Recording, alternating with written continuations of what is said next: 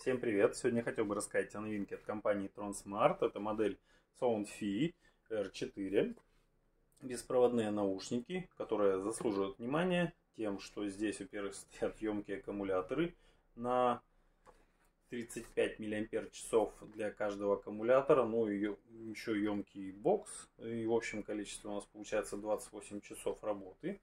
Э, с подзарядкой от бокса, либо 7 часов э, без подзарядки сами наушники работают. Это очень круто. Все-таки целые сутки можно не подзаряжаясь. Также у нас здесь 12-миллиметровые драйвера. Ну, конечно, наушники имеют только пассивную шумоизоляцию, но этого вполне достаточно. Что здесь еще есть? Bluetooth 5.3. Это очень хорошо. А, ну да, как раз вот забыл сказать, что емкость э, аккумулятора бокса это 400 мАч. Э, что еще здесь есть? IPX4, так что можем у нас заниматься спортом и не бояться, что они повредятся.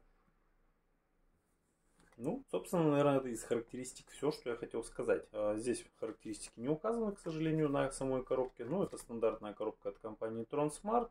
Э, сенсорное управление, комфортная посадка. Ну, такой стильный дизайн как я уже говорил, Dual микрофон, э, двойные микрофоны для разговоров, сбалансированный звук, ну и 28 часов э, без подзарядки. В комплекте у нас присутствует провод USB Type-C, это стандартный уже размерчик такой для зарядки самого бокса. Также здесь есть э, амбушюры. Амбушюры у нас овального сечения, посадочное у нас отверстие, если видно. Значит, это большие и минимальные размеры. Средние размеры уже у нас установлены на самих наушниках.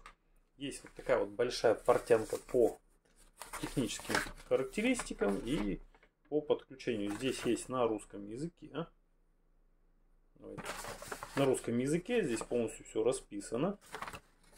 А также здесь опять же повторение технических характеристик и по управлению. Небольшая есть строчечка такая.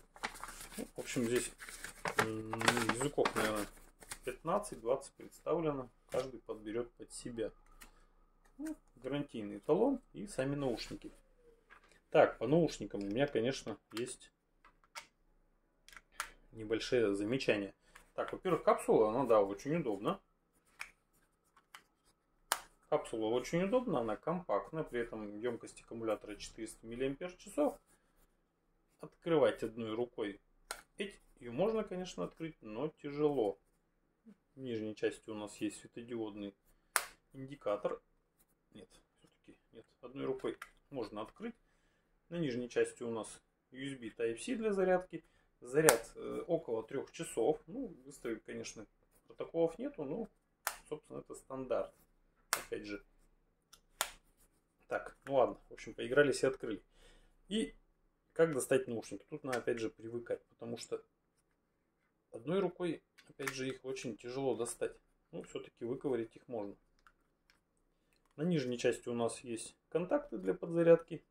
А наушники только устанавливаются в своей, именно в своей ложе. Но опять же, когда у нас бокс откроется, он не закрывается. Это очень хорошо, потому что обычно, когда его падает, то они защелкиваются и каждый раз может связь теряться, к примеру. Так, по наушникам. Наушники, как я уже говорил, 12-миллиметровые драйвера. А, очень хорошие резиночки, когда устанавливаешь в уши. Пассивная шумоизоляция присутствует. А, есть несколько микрофонов на нижней части. Еще один микрофон здесь, рядом с э, сенсорной кнопкой управления. Она находится на ножке. Ножка достаточно короткая. А, из ушей торчать не будут, как бывает частенько. Там чуть ли не под 3 сантиметра, под 30 миллиметров ножка торчит. Мне вот лично это не нравится. Есть несколько пассивных отверстий, опять же, для балансировки звука. Сам звуковод довольно короткий, ну и овальной формы. Там установлена еще синтетическая сеточка. Скорее всего, это не видно будет на моей камере, но синтетическая сеточка для того, чтобы у нас посмотреть.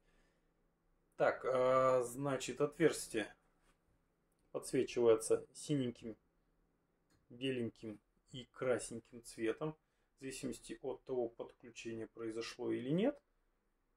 При зарядке, ну, при разряде, понятно. Что красным, при зарядке синим идет во время подключения белым, но ее почти незаметно, так что во время использования и они не будут видны. Материал очень приятный, это не софт-тач покрытие, это просто немножко шероховатый такой пластик.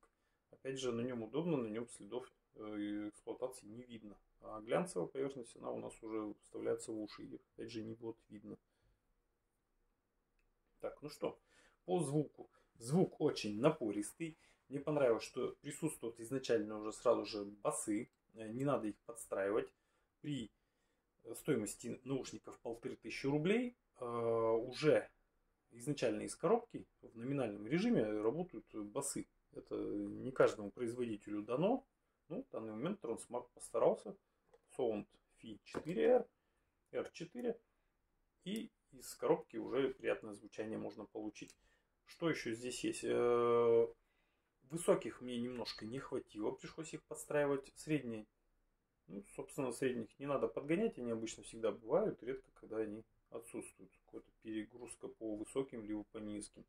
Значит, э, наушники низко-средние частотные, высоких частот немножко чуть-чуть не хватило. Но при использовании эквалайзера звучание просто бомбезное, особенно если учитывать, что всего полторы тысячи они стоят.